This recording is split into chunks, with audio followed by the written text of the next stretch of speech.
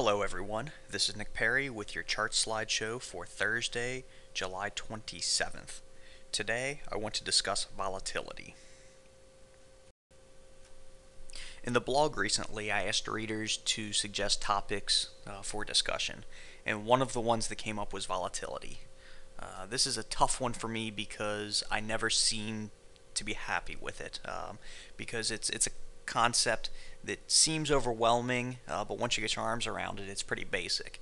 So anything I write or discuss on it tends to be either viewed as too basic or too complex. Uh, so I thought I would start with just the basics, um, you know, sort of an overall primer, and try to get everybody on the same page, and then perhaps discuss more advanced topics. So for today, I'm simply going to do a nutshell version of this, just cover the basics, ignore some of the math, uh, ignore some of the, the implications and applications of volatility, and just sort of describe what it is. Generally, when you're talking about volatility, you're talking about one of two types historical volatility and implied volatility. Uh, if you're in the market uh, for options, you're definitely going to hear implied volatility. If you flip on the television and they're talking about volatility in the market itself, odds are they are discussing historical volatility. Their two are somewhat related and they do tend to move with each other, but there are some differences. But first, I want to discuss historical volatility. In its most basic form, you can think of historical volatility as backward looking. Uh, it's a calculation that looks over the price action that we've seen over the, a given number of days and then uses a calculation to calculate the volatility. Um, it gives you nothing more of what has happened. It's not necessarily a prediction of what will happen. It's just simply over the last month or whatever time frame you're talking about, this has been the volatility. In contrast to that, implied volatility is forward looking. The math on this gets a little bit more complicated, and generally because you're talking about options here. Uh, but what you're doing is you're acknowledging what historical volatility has been, but you're looking at options and you're basically saying, given what's coming down the road as far as future events, what what do we anticipate the volatility is going to be? So in other words, it's an expectation of future volatility. It's an assumption influenced by upcoming events.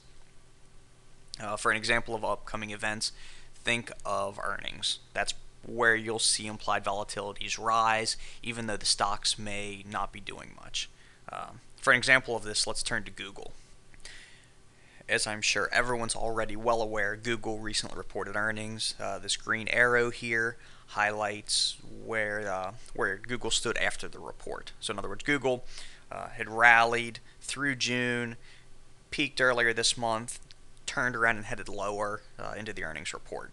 Overall, the the next day's reaction wasn't too far out of line. Other than if I had put the arrow in, you'd have a tough time seeing it. There wasn't much of a gap. Um, you didn't see a huge run the next day. Uh, we saw a dip, but it reversed and the stock closed higher.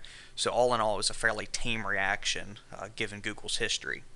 But now let's look at the volatility picture. This chart from ivolatility.com uh, is a good one because it shows historical volatility plotted alongside implied volatility.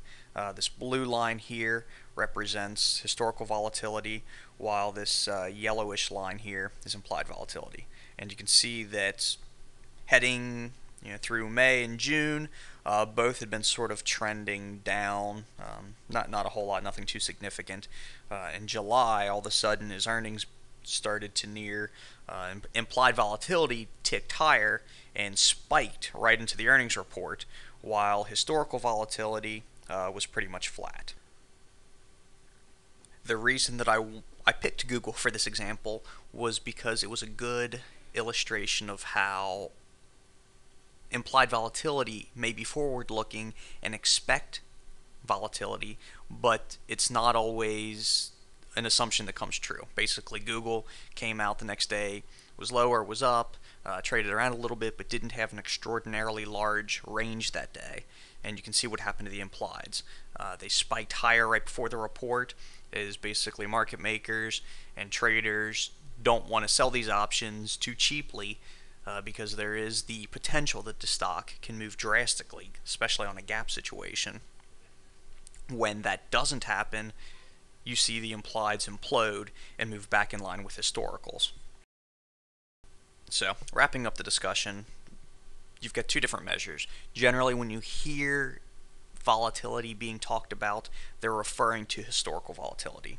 Uh, if you're hearing them talk about the market, talking about it in general. If they're talking about options, uh, odds are you're being uh, you're talking about implied volatility.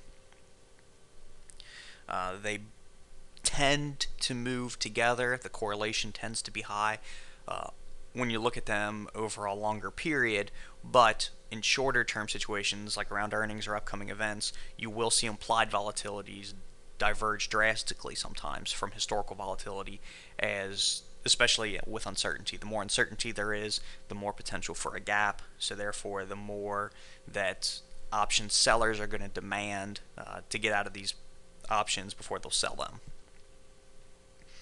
So that that wraps up uh, this discussion. As I said, there, it, it can get a lot more complex, uh, but I'm not sure that, that that complexity is needed to understand the basics.